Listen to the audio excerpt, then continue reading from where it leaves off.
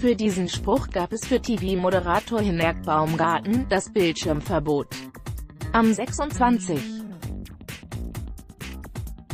Mai unterstützte der 50-Jährige seine Kollegin Heike Götz 54 bei der Live-Sendung Landpartie Spezial des Norddeutschen Rundfunks NDR in Ratzeburg und leistete sich dabei eine verbale Entgleisung.